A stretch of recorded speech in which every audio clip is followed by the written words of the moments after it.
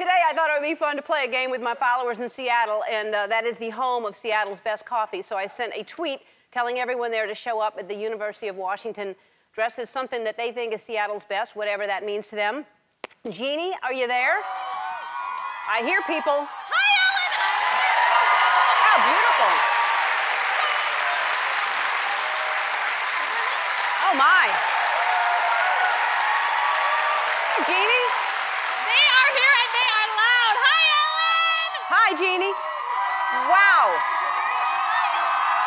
That is beautiful.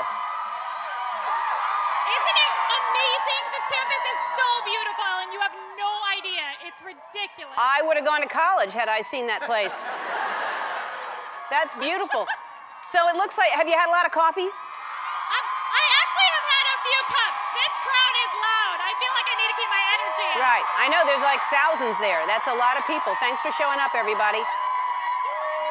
Or maybe just they just do that no matter if we're on. They're just filled with coffee and they woo all the time. All right, let's see. We have some great costumes there, and you've chosen the 10 best, right? Okay, all right. So I have Seattle's biggest super fan.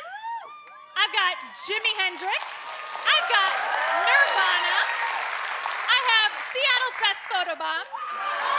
Some Seattle party animals. Seattle's best average UW student. And Macklemore and Lewis. Well, What do you think, Ellen? I think that those are very creative, and I think they're great, uh, uh, and they're all right in all of those things. Here's what's going to happen Jeannie is going to divide you into teams of five. And then later in the show, you're going to play Flip Cup. So get ready to drink a lot of coffee because you're going to be playing for $1,000. We'll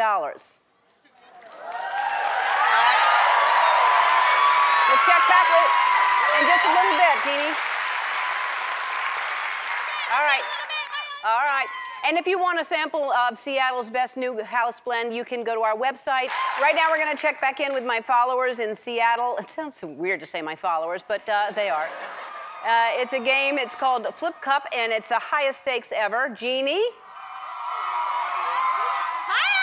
Hi, Jeannie. So we have a lot of energy there. We have two teams. What will they be? What will they be drinking today, Jeannie?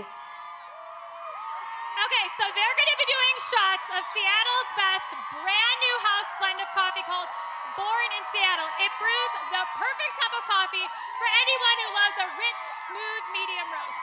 Great. All right. This game, I learned, by the way, I learned how to play this game at Scooter Braun's house. I guess it's a very popular game, and uh, it's, it's a hard game. On your marks, get set, flip cup.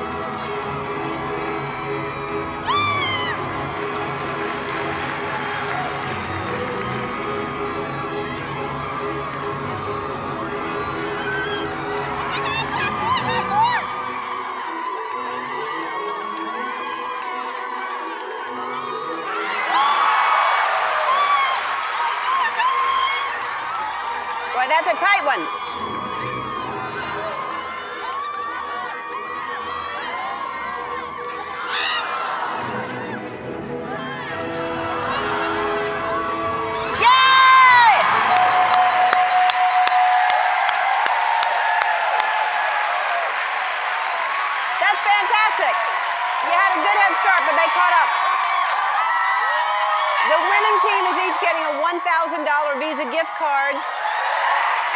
Even though you lost for playing, the other team is getting a $250 gift card. All right, I want my audience here to be able to brew the perfect cup of coffee with Seattle's best house blend, so you're all going to go home with a $100 Visa gift card.